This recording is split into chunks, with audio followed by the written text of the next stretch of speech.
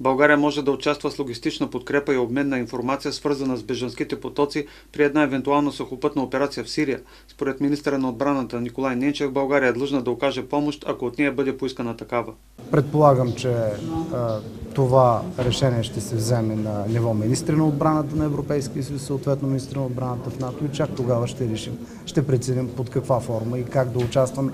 Пак казвам, ако това се изисква от нас и се налага. А България има ли готовност да участва в сухопътна операция? Естествено, че имаме. Вижте, естествено, не само, че имаме готовност, ние имаме задължение. По силата на закона за въоръжените сили, една от основните мисии, която е пред Министерството на отбраната и въоръжените сили е точно така да участваме в мироопазващи действия извън границите на България. Междувременно премиера Бойко Борисов заяви, че Европейския съюз трябва да преразгледа външната си политика по отношение на бежанците, още повече в момент, в който Шенген на практика не съществува.